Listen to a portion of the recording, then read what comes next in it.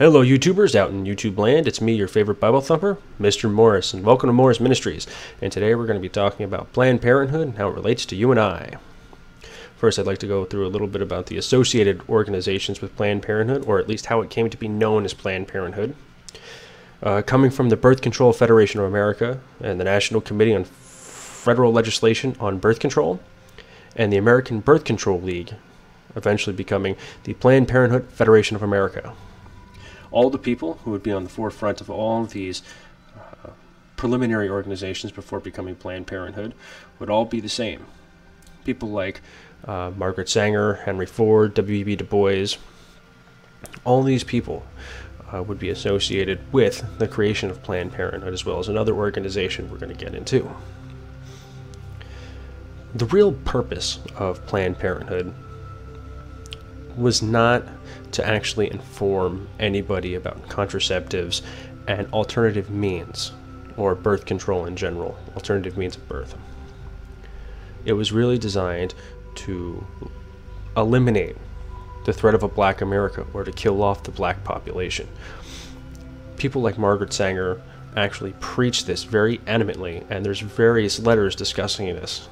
Uh, not only just in her speeches, her letters, private letters, W.B. Du Bois letters, uh, and many, many examples of this, which I'm actually going to quote from in just a moment. The idea being that these people are a threat uh, to our current existing way of life, all these, and that the only way to overcome this, or is to introduce them very subtly by using the means of the churches, uh, as well as black people themselves. This is why W.E.B. Du Bois was specifically targeted to be the man to carry out the job of committing or placing the first abortions, first contraceptive information to the black community, because it would have been deemed a threat otherwise if it came from anybody else. See, W.E.B. Du Bois is a very interesting character, being that he was an African American in the well, all this stuff really taking place in the 1930s. I mean, uh, from 1919 to 1946. We can see when he was writing in the Birth Control Review, uh, using and agreeing with people like Henry Fairchild Osborn, you know, the president of the Museum of Natural History at this time, saying things like, uh, the immediate need of birth selection as a solution of overpopulation, unemployment, and poverty and the relief of tax burden of born defectives. Marriages among persons who are financially conditioned doesn't warrant pregnancy.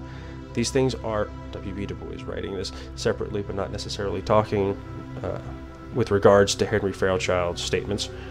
These things are sinister influences, and the burden is going to be thrown on the white civilization. It's a black man writing about his own black people. but it does say the birth of defectives. Well, a lot of these letters and a lot of the argument that's been flying around is that it also talks about people who are mentally handicapped, uh, criminals mainly. These things are, these degenerates are a scourge on society and must be removed. But the interesting thing is, is that when Margaret Sanger is writing in, uh, what letter was it?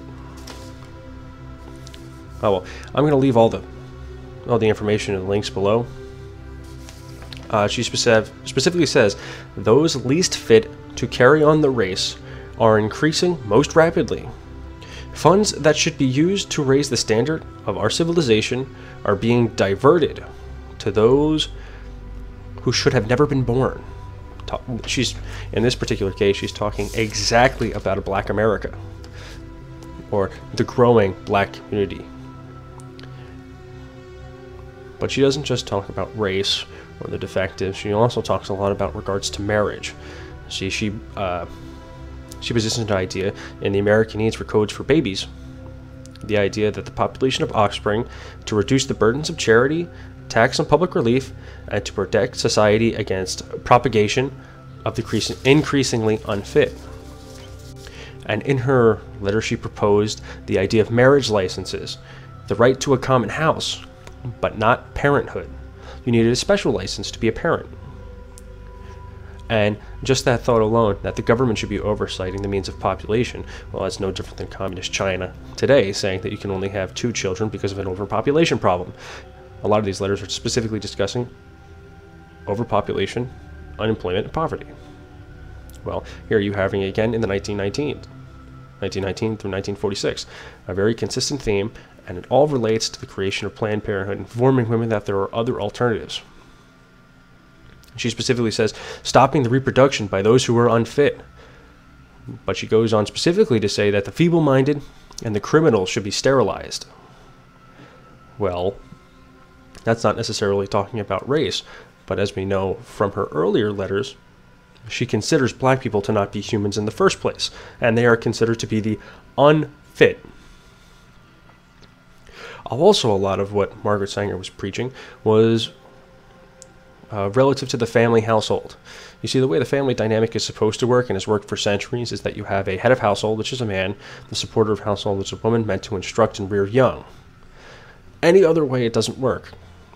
This goes back to Han S. Herlong's entry into the congressional record of 1963 as it relates to Cleon Skousen's The Naked Communist. You see, how to destroy a family home. Let children be in charge. See where it takes you. Look at where we are today. Look where we are today. And she specifically says that Planned Parenthood liberates the potential mother and wife from the despotic father state. She's specifically saying how to remove the nuclear family, how to actually create the conditions which the Bible talks about, that everything in the future where children will be in charge of their fathers. It starts off right here with the means of Planned Parenthood saying that you are no longer responsible for your children and that it is biological slavery to have an unwanted pregnancy. Going on further to say that the ignorant and defectives to breed, to increase the death rate, and to decrease the birth rate are the only solutions provided to this problem. And since we've increased the death rate through means of war, well, here in times of peace, how do you decrease the population? You decrease the birth rate. Because she says specifically, and this relates to the later agendas 21, 2030, and on and on and on. One of the reasons why the United Nations was formed is the one world government. Okay, she specifically says the United Nations and its subsidiary bodies, because the United Nations was designed to do this, all the people at the time would have known this. This is just following the Nuremberg trials. Okay, have shed the basic problems of overpopulation. That the United Nations would take on the reins of uh, depopulating the Earth. Margaret Sanger also preached very avidly about unwanted stability with wanted children and that abstinence and sex and sterilization are not means of a solution. That abstinence is, is not an actual solution, but sterilization can potentially be. That abstinence doesn't uh, particularly work because it removes your sexualism, because women are meant to be a sexual creature. And if you're going to do it, then what you're going to do is wait for this miraculous uh, period in between in which you cannot get pregnant, then you can flaunt your femininity however you wish. Okay, all of these weird things eventually lead you to the conclusion about how these children are undesirables, regardless of race, that you shouldn't be having children in the first place. We see that today. P parents do not want to have children because it's, oh, how dare I bring them into this world, instead of them seeing, seeing them as a blessing of God and the way it really is. You know, you see them discussing the fact that children are burdens on them and not blessings. But you also specifically see race, race being employed. See, just as we were talking about before, W.B. Du Bois was specifically brought in because he was black and could introduce this into a black culture to remove the threat of a black America. I mean, my goodness, in W.B. Du, uh, du Bois' letters, uh, his lawyers are specifically talking about it's good that you're doing these things because we fear a black America. And all of these people would be the heads, directors, and founders of the eugenics societies of America. The eugenics being selective breeding, the means by which you can create a perfect or close to perfect uh, breed of people by controlling the conditions and the process of their birth. Now, the question is, is why is it that way? Why on earth would America become this eugenics thing? How would it get that way? Well, it comes from Germany. You see, we're actually following a standard operating procedure that followed in Germany during just preludes to World War II. The process is called Lebensborn. And in the 1950s, when Buck versus Bell had just hit the Supreme Court, it actually defended the right for America to be eugenics or practice uh, euthanasia, to practice forced abortions and things like that, things that Germany was doing. Lebensborn is a process by which uh, soldiers were forcibly allowed to impregnate whatever woman they so chose, and it was illegal for them not to. And any woman that was unfit had to have a forced abortion because how dare you bring a child into this world? And it's going to happen today because Buck versus Bell gave the United States the right to terminate a pregnancy, okay, as well as sterilize or euthanize based on whatever conditions the government sees fit. And that's why it was cited in Roe versus Wade, the means by which Planned Parenthood exists the way it does today. Roe versus Wade in itself is an interesting controversy, you see, because it was all a lie. Because uh, Jane Roe, or Norma uh, McCorvey, as her actual name is, became one of the biggest proponents against the decisions for Roe versus Wade. Here's the woman that actually started the court case saying how it's a lie and how I wanted to have my children. She had doubts about it at first. Most women tend to do that. But then says, you know what, I want to actually carry through this. I don't want to have this court case. It's wrong for mothers who are pregnant to have the opportunity to relieve themselves of what they would be considering a burden. And how it is not right, it's not ethical. Became the poster child for the Catholic Church against abortion and the pro choice movement. That's because America actually has the agenda to eliminate as many pregnancies as humanly possible to depopulate the earth. They want to commit forced abortions. They want you to actually not have the opportunity to do that and to not see the blessings of God. And there's another reason that we're getting to in a moment. It's because Planned Parenthood, okay, yes, Planned Parenthood offers many services and oh no no no no no. Well, 86% of all of its generated revenue comes specifically from abortions, abortions only and the sellings of aborted tissues. Most people say, well, no, they don't sell aborted tissues.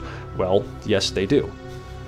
See, the laws that are written specifically state as long as it doesn't interfere with interstate commerce. It does, however, say that human trafficking, human trafficking and the harvesting of organs is illegal. But the way the laws are currently written, okay, unless organs themselves are fully developed, then it's not illegal. But Planned Parenthood just got caught doing things like this you know, illegal transportation of biological materials. And it might have even been the uh, leader of Planned Parenthood who said how they were potentially harvesting organs themselves and how it gave them bonuses.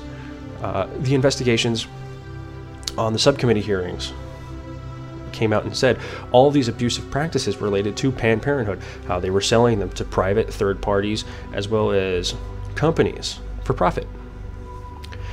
Some companies, including the FDA and the Pepsi company.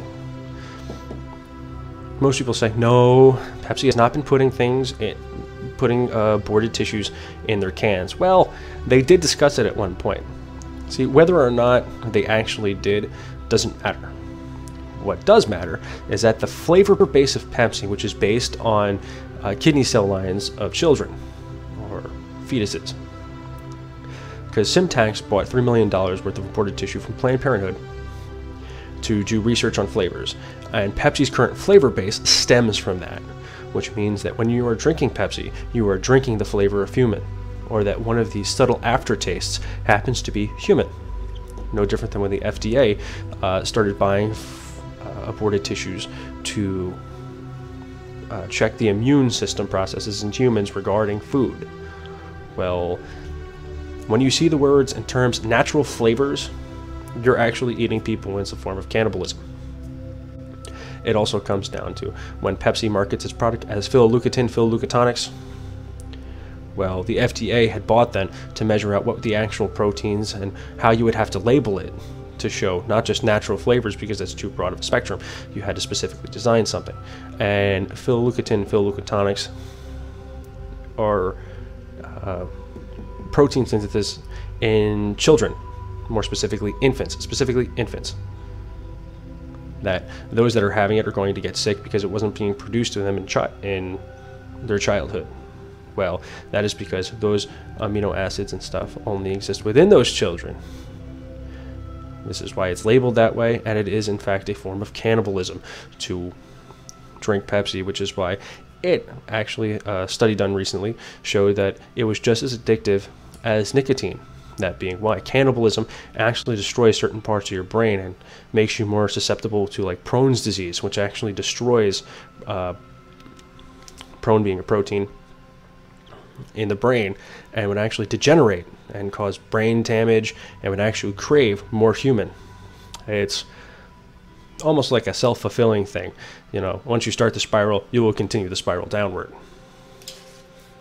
So you have things like illegal transportation, you have things like harvesting of organs to be sold privately, and those specific companies putting it in your food. The question is why? Why on earth would you want to have a cannibalistic culture? Well, that comes down to as were the days of Noah, so shall the coming of the Son of Man be. People did what was right in their own eyes.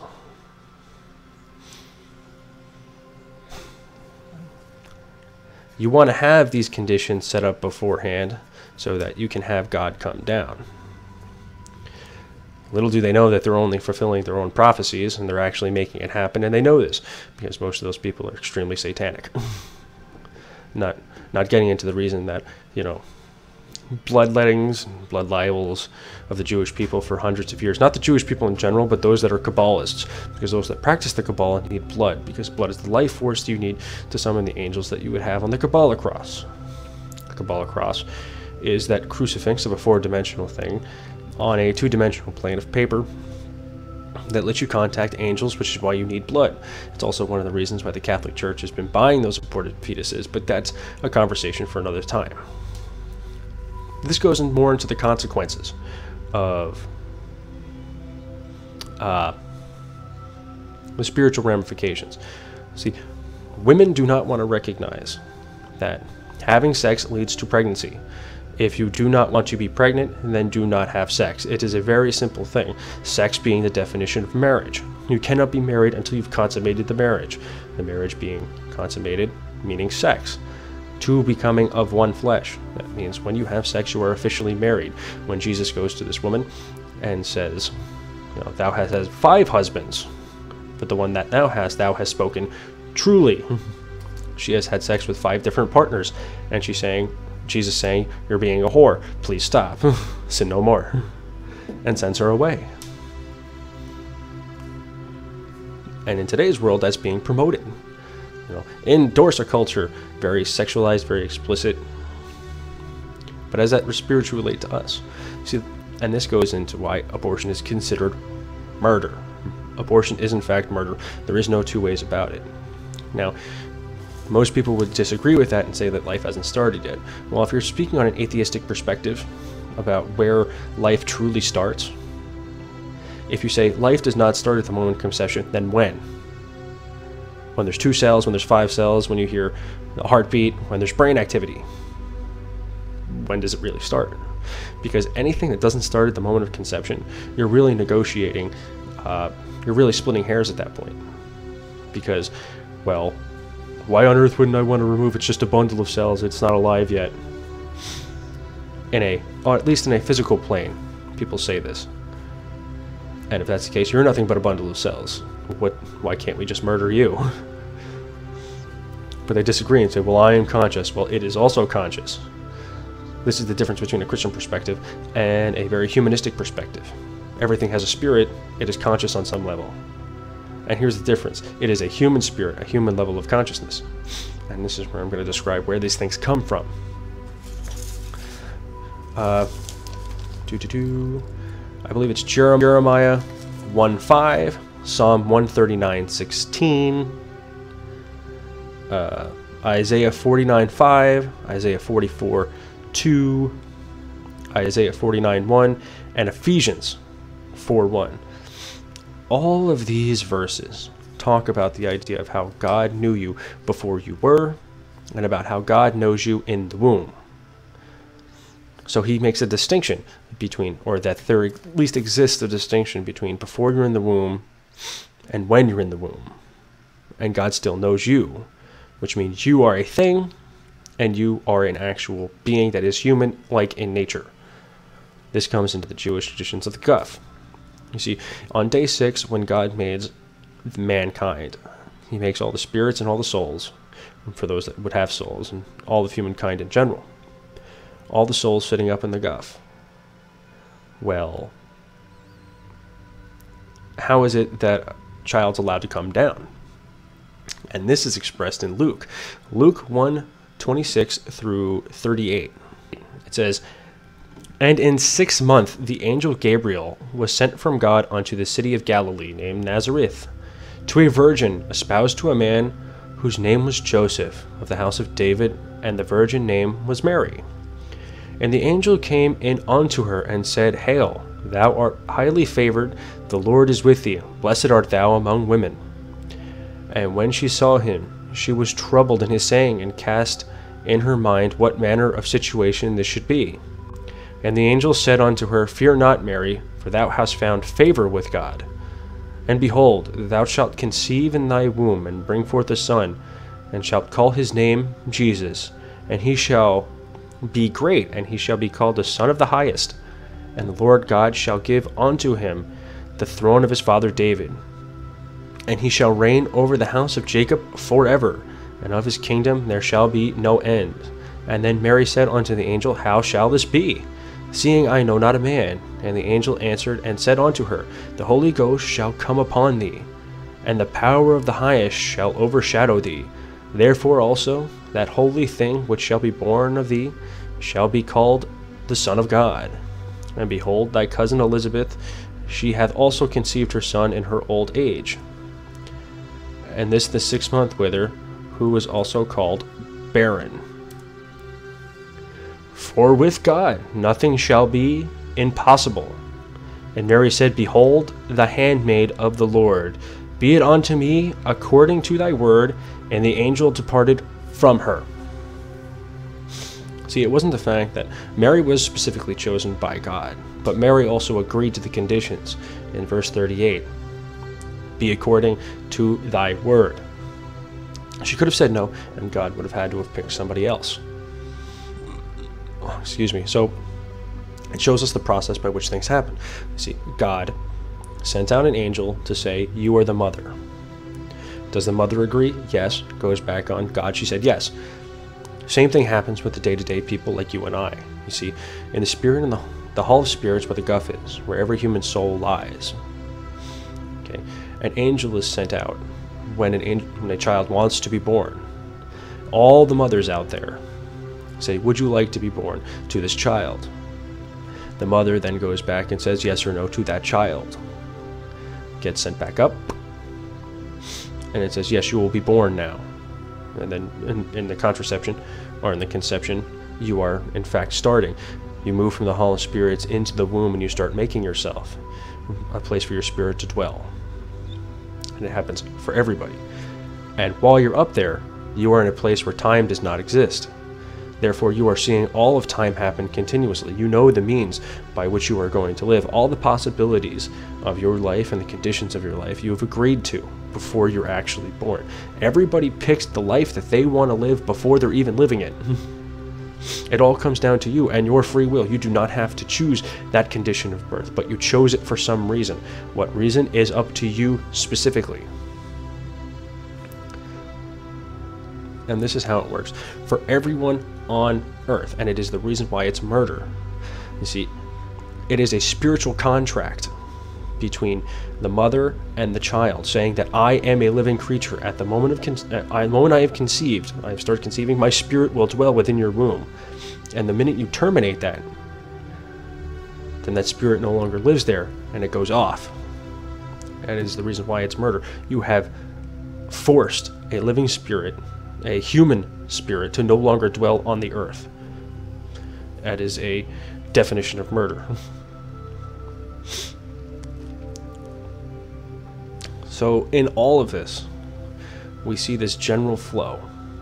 But since Satan is the actual uh, king of the age, king of the world as it is now, Adam forfeited the keys of creation over to Adam, uh, over to Satan, Lucifer. because otherwise, how would you be able to tempt Jesus if you don't actually have authority over the land you're given? And Jesus only gave that authority to him for a short period of time until he comes and reclaims us. And since it's his world, we see that the prophecies being laid out, the governments of the world forming into one, and making everything so blatantly, obviously sexualized, Satanized, Luciferian in, in nature of some kind or another. And it's with these things that we have to start being extremely careful not to get into them. People need to start taking responsibility for their own actions. You see, if you do not want to be married, then you do not have sex. Plain and simple. And this is why marriage is, in fact, a religious institution. Gay people cannot get married because they are sodomists in nature. You cannot be a sodomist and be married because you are not actually having the action of sex. Two gay people, two lesbian people, they cannot become one. This is why marriage is such a pristine thing and why it was ordained by God to be fruitful, multiply, and why God made Adam and Eve, each one made in their own pairs. But that is more relating to relationships itself and not so much into Planned Parenthood. But the spiritual consequences are as relates to abortion, because as we said before, Planned Parenthood is an abortion clinic. It's not really a contraceptive clinic, and even in contraceptive nature, you know that means that you're going to be sexually explicit and go and marry whomever you will. These things are not endorsed in the Bible. You're endorsed to have one mate for your life. As always, thank you for tuning in. Any comments or questions, just leave them down below.